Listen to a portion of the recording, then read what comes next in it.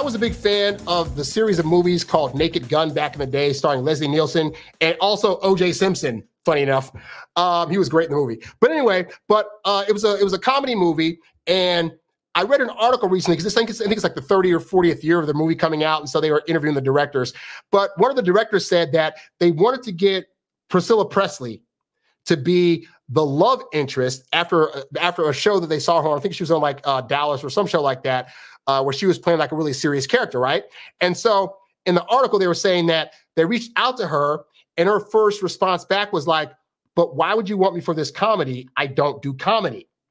And the director said, Exactly. We don't want you to be a comedian. We want you to play the part straight and play it very seriously, but you're just you just happen to be taking seriously all this silly stuff that's happening, right?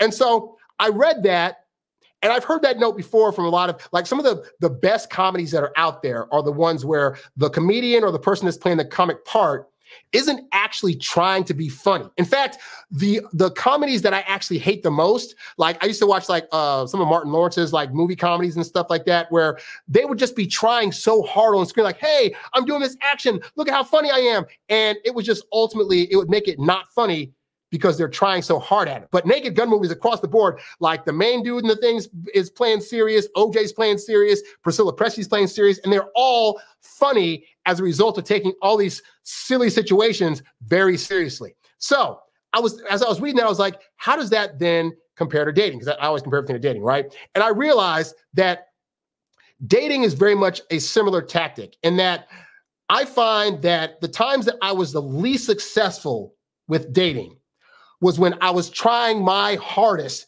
to be a good dater. I was trying to, you know, show that I was boyfriend material. I was trying to bring flowers. I was trying to compliment. I was trying to do and do and do all these things to try to show women that I am worthy of eventually being the boyfriend. And I found that applied pressure. It made things uncomfortable. It made me anxious, which made them nervous, and it would usually result in them heading for the hills. So what changed? Well, part of it was honestly figuring out the the pathway of dating that was going to be most effective, which is why I have the Introvert Dating Success Academy.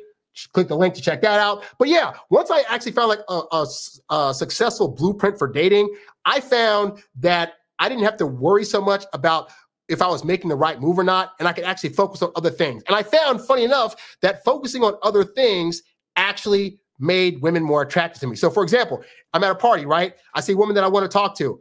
I don't talk to her. Instead, I focus on, you know, mingling with my friends. I focus on getting some good dancing in on the dance floor. I focus on various games that are being played at these parties. And then if I just so happen to go by the punch bowl at the time that I happen to know she's there, and I just happen to strike up a conversation, well, now I've done I've done made her interested in me without having to talk to her for an hour because for the last hour she saw me doing other things. So by not concentrating on her, it made her concentrate on me, and thereby she wants to talk to me. She wants to sit in my lap. She wants to give me her number before I leave the party without me having to ask for it. And I just found across the board that the less I tried, the easier it became to date. Now, you might be thinking, but if I don't try, how do I get girls to date me? And there's the rub is that part of the dating process for you to be successful is really becoming comfortable in your own skin, knowing who you are, knowing that you're okay with who you are and what you bring to the table. And then also, honestly, like, focusing on some other things like focusing on how you dress, focusing on your mannerisms, focusing on how you talk, how you move, focusing on your goals and what you're going after, and then focusing on other things that are just make you a in- more interesting person. You know, if you're really digging into your goals and your hobbies and you're going on trips and doing these things, then if a woman happens to come across your pathway, all you got to do is like talk about those things and then make her laugh a couple of times and boom, she's interested. Like, you know, I've done trips to Australia. I've had songs that went national and global and got me really popular. I've I've worked with celebrities. So I have an interesting enough life to where if I just talk to a woman for like five or 10 minutes, I can just mention, oh yeah, like that time I went to Australia. Oh yeah, this one thing I did. Oh, when I put this one song up, this is that. And then just those things, she's like, getting interested. And then I can say at the end of that, well, it's been nice talking to you. I got to go. Oh, real quick, let me get your number. At that point, the most work I've done is put my phone out and said, let me get your number. Versus, oh, versus I see most guys do it like parties and stuff, right? Where it's like, oh, you're so hot. And then they follow her around the whole party and they're trying to compliment her whole time and trying to get her drinks and stuff like this and that. And I was doing none of that and getting women interested. So much like in comedy, when they're they're they're most funny when they're not trying so hard at it, you're going to look more at ease and probably have a lot more success if you're not trying to look like you're trying to attract these women. Now, again, if you need help with that, I got some great programs at the website. You can also hit me up for coaching at the website.